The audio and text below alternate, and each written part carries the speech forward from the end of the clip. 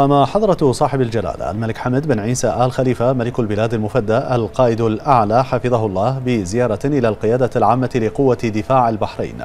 فلدى وصول جلالته كان في الاستقبال صاحب المعالي المشير الركن الشيخ خليفة بن أحمد آل خليفة القائد العام لقوة دفاع البحرين وسعادة الفريق الركن عبد الله بن حسن النعيمي وزير شؤون الدفاع وسعادة الفريق الركن ذياب بن صقر النعيمي رئيس هيئة الأركان.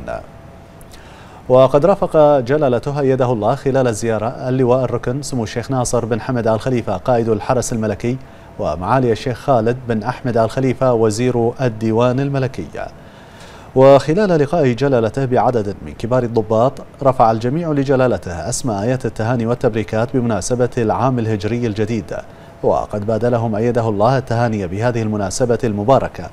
مشيدا برجال قوة الدفاع البواسل وبما يبذلونه من جهود سامية لحماية وطننا العزيز ومسيرته الحضارية ووحدته وما حققه من مكتسبات وطنية شاملة.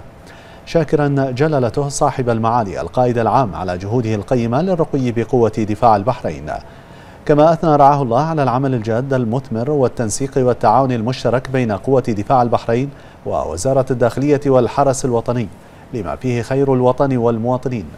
معربا عن اعتزازه بتشرف رجال قوة دفاع البحرين البواسل بالوقوف صفا واحدا مع أشقائهم الشجعان من القوات المسلحة السعودية والقوات المسلحة بدولة الإمارات العربية المتحدة ضمن التحالف العربي للدفاع عن أرض الحرمين الشريفين ومد يد العون والإغاثة للأشقاء في اليمن العزيز.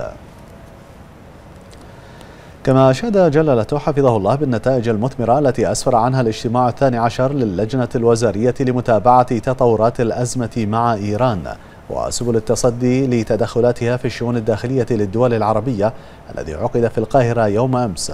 مؤكدا جلالته حفظه الله أن البحرين تتطلع دائما بأن يعم الأمن والسلام في المنطقة والعالم أجمع. متمنيا جلالة الملك المفدى القائد الأعلى يده الله لجميع ضباط وضباط صف وأفراد قوة الدفاع دوام التوفيق والسداد في مختلف مواقع عملهم النبيله